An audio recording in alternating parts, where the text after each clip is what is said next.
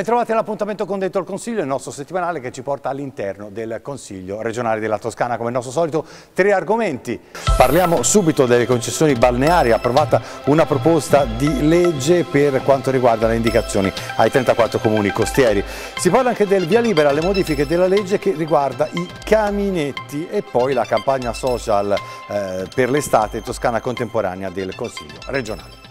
Partiamo subito dal primo tema, quello che riguarda i criteri di permeabilità e condennizzo, indicazioni omogenee in tempi rapidi. Ai 34 comuni costieri toscani in materia di concessioni balneari arrivano dalla Regione. Infatti questo è l'obiettivo dell'atto che va a modificare e attualizzare ehm, la legge regionale del 2016 che disciplina alcuni criteri e condizioni nelle quali i comuni devono attenersi eh, per quanto riguarda le procedure comparative per l'assegnazione delle concessioni per finalità turistico-ricreative. La proposta di legge è stata approvata con 30 voti favorevoli, 3 voti contrari e 6 voti di astensioni. Ascoltiamo i consiglieri. Noi abbiamo realizzato oggi una, approvato oggi una norma che prevede l'equo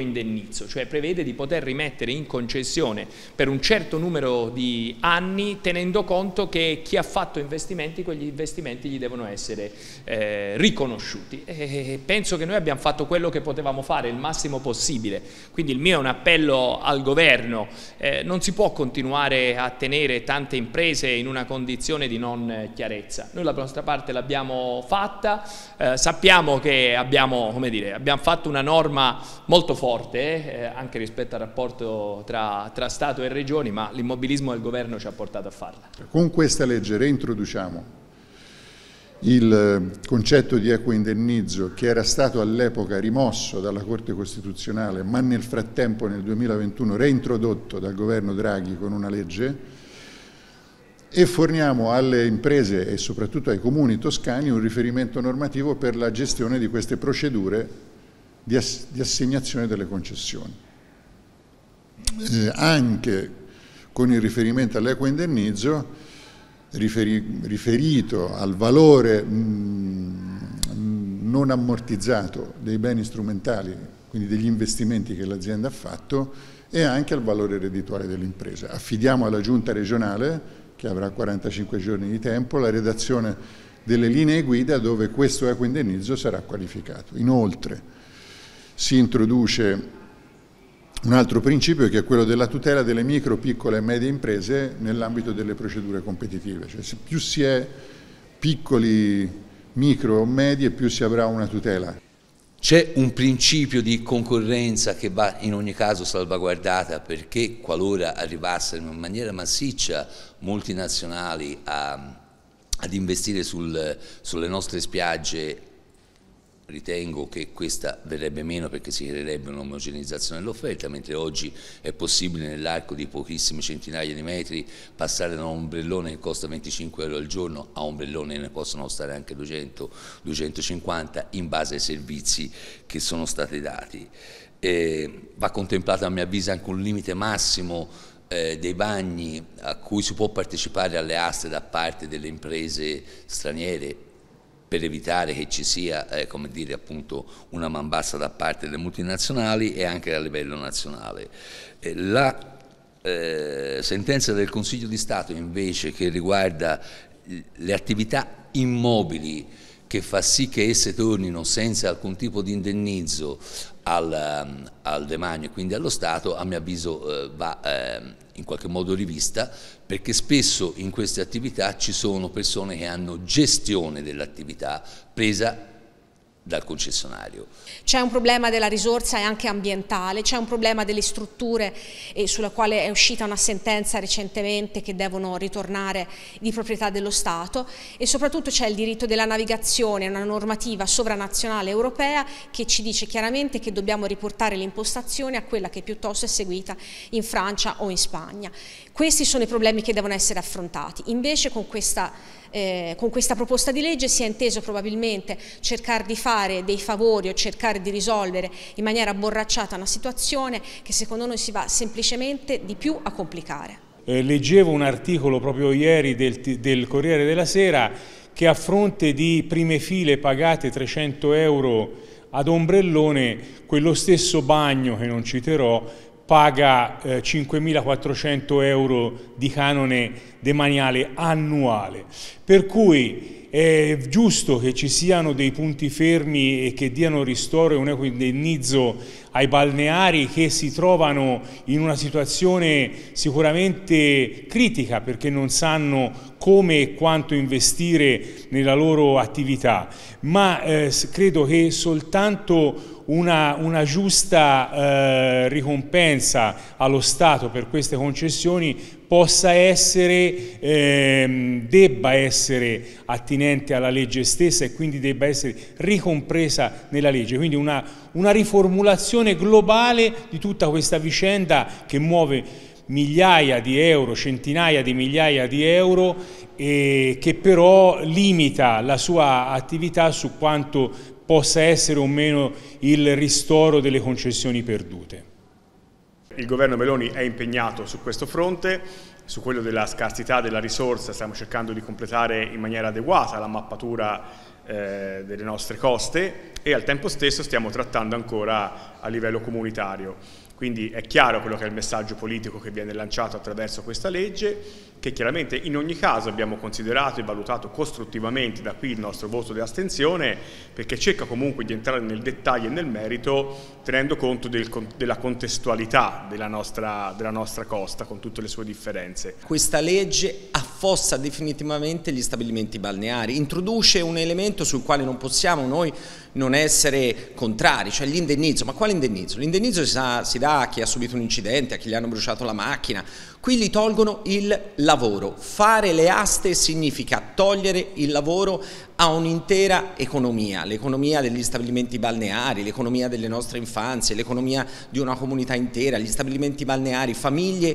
che da anni gestiscono stabilimenti balneari, che hanno fatto investimenti, che ci hanno messo sacrificio, che curano la costa. Cosa sarebbero le coste italiane senza gli stabilimenti balneari? Si prendono cura delle coste anche nel periodo invernale. Lo stabilimento balneare è la famiglia per tanti di noi. Ecco perché Forza Italia è contraria alle aste, contraria alla bolsa, Bolkestein, contrari agli indennizi. Certo, c'è un elemento che abbiamo chiesto di introdurre in quella legge che è il valore aziendale. Ci hanno detto di no, noi continueremo a batterci per gli stabilimenti balneari che consideriamo un'infrastruttura fondamentale per il nostro Paese. Crediamo che in questo momento, in un vulnus nazionale, la Regione Toscana abbia dato un'impronta politica che però va nella direzione di quello che è un confronto serrato anche a livello nazionale con le categorie e quindi che porta avanti il principio appunto di eh, sviluppo e quindi di primarialità per quelle che sono le micro eh, piccole e medie imprese che in Toscana ce ne sono tantissime in tema di stabilimenti balneari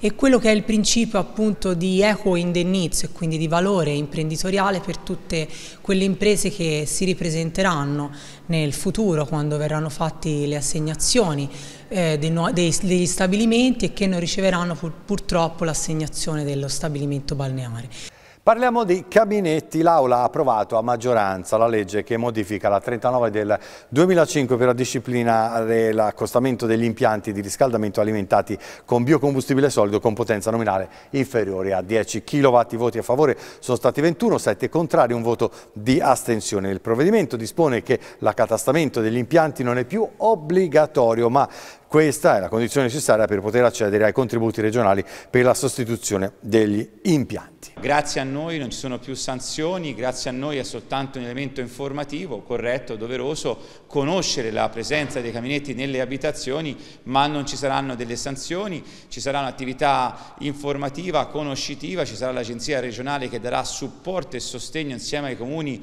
a tutti i cittadini, si è allentata e di molto una direttiva comunitaria che era molto stringente stringente, l'impianto originario della legge era molto tassativo, oggi la normativa è positiva perché di fatto non ci sono tasse, non ci sono sanzioni, è un elemento di conoscenza opportuno per cercare di abbinare la presenza dei camini nelle case a quelle delle caldaie, ci sarà la possibilità di fare questa comunicazione per mail, per numero di telefono, non c'è una scadenza, quindi con calma verrà fatta e questo grazie al lavoro che ha fatto Italia Viva, il sottoscritto che vedeva nella prima fase di questa legge una legge troppo rigida, troppo tassativa e che sarebbe stata vessatoria nei confronti dei cittadini toscani. Il fatto di, eh, di autodenunciare insomma, il possesso eh, di un caminetto eh, non significa pagare qualcosa perché la procedura è completamente gratuita, non, sono, non ci sono tasse, non sono previste nessun tipo di tassazione, serve solo per capire come una fonte che in alcuni territori della Toscana è particolarmente usata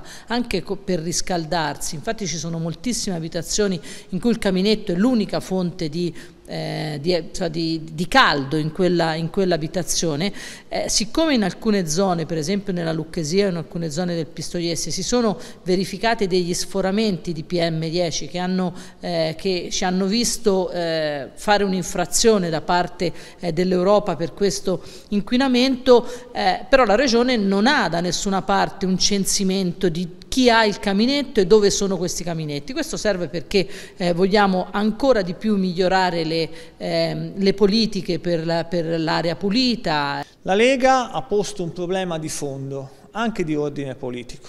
Noi l'avevamo già detto a suo tempo, mettendo in evidenza che non era possibile discutere una legge di questo, di questo tipo fino a quando non avremmo avuto un piano dell'aria aggiornato, piano dell'aria che in realtà ancora non ha visto la luce, che ha visto un'informativa, ma si teme che eh, sarà affrontato di qui a molti mesi. E allora sotto questo aspetto noi riteniamo, e l'abbiamo detto a più riprese anche oggi, che i dati portati avanti da Pathos su quello che è l'inquinamento, per esempio nella piana lucchese, non siano in realtà aggiornati a quello che è il quadro odierno. La scadenza per l'accatastamento e l'autocertificazione dei nuovi impianti è ora al 31 di luglio 2024, ma nel frattempo è stato diviso le categorie. Gli impianti sopra i 10 kW hanno l'obbligo di eh, accatastamento e se non lo fanno i proprietari saranno oggetto di sanzioni dopo le verifiche fatte dall'Agenzia Recupero Risorse della Regione. Gli impianti sotto i 10 kW e quindi la maggior parte dei caminetti e dei piccoli sistemi interni alla abitazioni non sono più eh, soggetti all'accatastamento ma basterà una semplice autodichiarazione senza comunque nessun tipo di sanzione. Quindi la consideriamo una battaglia vinta anche se molto c'è da fare per eh, combattere l'inquinamento atmosferico nella regione toscana. È stata presentata la campagna social del Consiglio regionale per l'estate 2024, Toscana Contemporanea. È dedicata ai luoghi d'arte contemporanei, quelli all'aperto, quella dell'arte urbana, ai parchi d'arte attraverso una campagna fotografica con video, formati informativi non soltanto su Vidi Tascani ma anche sui social. L'arte urbana rende la Toscana un grande museo a cielo aperto. In questi anni abbiamo deciso di investirci tanto, vorremmo continuarlo a fare anche nel futuro. In questo c'è l'idea della Toscana diffusa, queste opere uniche, stupende, dai piccoli borghi della Garfagnana fino a Pisa, a Firenze, riescono a raccontarci una Toscana in grado non solo di vivere nella bellezza del suo passato, ma anche di raccontare il presente e farlo con un'arte, un'arte moderna, un'arte più vicina alle persone, in grado anche di creare socialità. Toscana contemporanea è tutto questo. Uh, negli scorsi anni abbiamo deciso di raccontare la Toscana dei piccoli borghi, la Toscana dei parchi, quest'anno invece raccontiamo la Toscana dell'arte di strada, la Toscana dell'arte vicina alle persone e chiediamo alle cittadine e ai cittadini della nostra regione e non solo, anche ai tanti turisti,